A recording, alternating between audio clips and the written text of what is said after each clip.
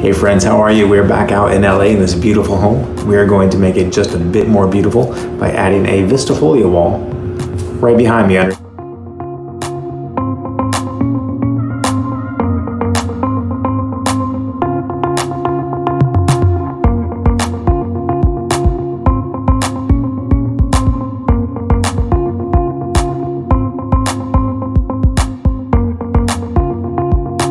All right, friends, well, there you go. Our wall is complete, and I think you will agree that it looks so much better than it did before.